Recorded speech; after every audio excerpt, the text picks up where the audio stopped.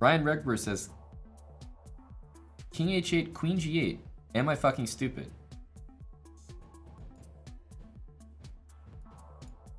Yep. You're fucking stupid, Ryan.